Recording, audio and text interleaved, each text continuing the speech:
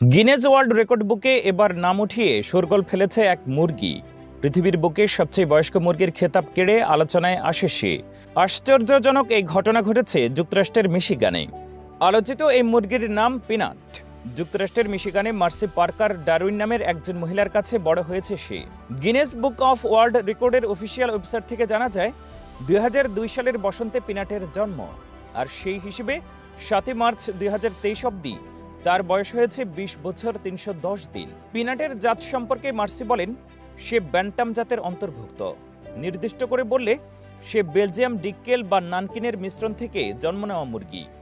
তার বয়স ইতিমধ্যেই এলাকার ডাক্তার জুলিয়া পার্কার দ্বারা নিশ্চিত করা হয়েছে। ডাক্তার পার্কার দুই হাজার তিন সাল থেকেই পিনাটকে চিনেন এবং প্রাপ্তবয়স্ক অবস্থা থেকেই তার দেখভালের বিষয়ে উপদেশ দিয়ে গেছেন। পিনাট মুরগি হলেও তার জীবন বেশ নাটকীয়।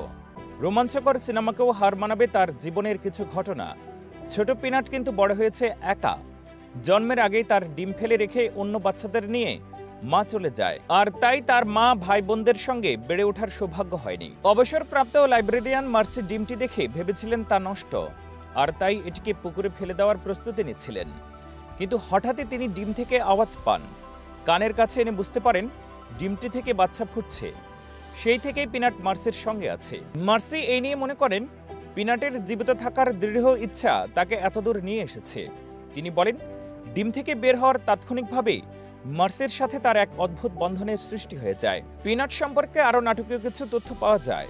তার মা কোনোভাবেই তাকে মেনে নিচ্ছিল না। আর যে কারণে জীবনের প্রথম দুই বছর মার্সের ডাইনিং রুমে একটি তোতা পাখির খাঁচার ভিতরে ছিল সে। পরবর্তীতে পিনাটকে মার্সের বাকি মুরগিদের সাথে বাইরে একই জায়গাতে রাখা শুরু হয় এবং এখান থেকেই দীর্ঘ সময় ধরে বেঁচে থাকার জন্য এগিয়ে যায় পিনাট। পিনাটের প্রজনন কাহিনীও সিনেমার আরেক রোমাঞ্চকর মোড় বলা যায়। সে আট বছর বয়স পর্যন্ত ডিম পেড়েছিল। পুরো জীবদ্দশায় অনেকবারই ডিমে তা দিয়েছে আর বর্তমানে মার্সের ঝাঁকে পিনাটের অনেক নাতিপুতি আছে বলেও জানা যায়। বর্তমানে পিনাটের যদিও ডিম পাড়ার মতো বয়স আর নেই তবে অল্প বয়সে লেন্স নামে তার একটি প্রিয় সহচর মোরগ ছিল বলে জানা যায়। মার্সি জানান, পিনাট যে এখন একদমই একা তা কিন্তু নয়। বেনি নামের একটি একচোখা মোরগ তার সাথে থাকে। বিশ্বের সবচেয়ে বয়স্ক মুরগির খেতাবপ্রাপ্ত পিনাট এখন শীতকালগুলো ঘরের ভিতরেই কাটায়। সে তার পনেরো বছর বয়সী মেয়ে মিলির সাথে একই খাঁচায় থাকে।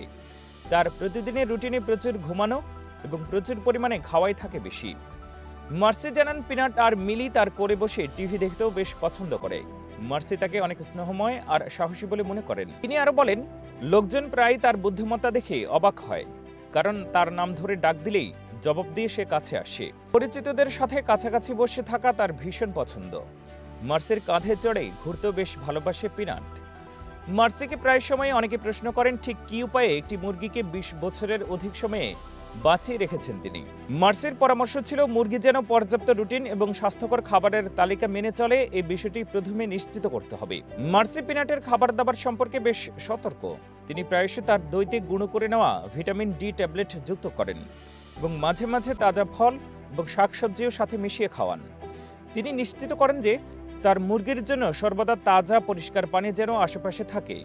মুরগির আশেপাশে পোকামাকড় মোকাবেলায় অ্যাপেল সিডার ভিনেগার ব্যবহার করেন তিনি। পিনাটের আগে এই খেতাব পেয়েছিল আমেরিকার মাফি নামের আরেকটি মুরগি। উনিশশো উননব্বই সালে জন্ম নেওয়া মাফি বেঁচে ছিল তেইশ বছর একশো বাহান্ন দিন। দুই হাজার বারো সালে মাফি পৃথিবী থেকে বিদায় নেয় আর তারপরে এখন পিনাটের ঝুলিতে এসেছে বিশ্বের সবচেয়ে বয়স্ক মুরগির রেকর্ডটি।